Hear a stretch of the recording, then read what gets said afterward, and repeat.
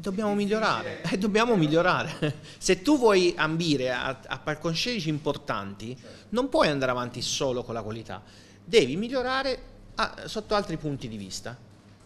Cioè, allora io vorrei, vorrei che un, un mix tra, eh, che ne so, tra Bruno e Valoti.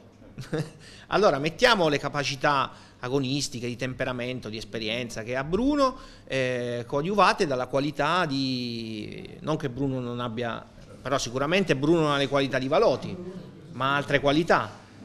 La, la più grande qualità di un calciatore è assumersi le proprie responsabilità davanti al fatto di non giocare. Perché il problema più grande è che un calciatore quando non gioca dà sempre la colpa a qualcuno. Allora, quando, si, quando, un calciatore saprà fare un salto di, guarda, di, qualità sotto questo punto di vista, cioè io non gioco, è colpa mia, devo fare di più, vuol dire che io devo fare di più, e capirà cosa vuole un allenatore, cosa vogliono i compagni, cosa vuole la gente anche, e allora lì un calciatore potrà fare un salto di qualità. Finché pensa a livello egoistico di dare la colpa sempre agli altri, ci sarà poco margine per il miglioramento.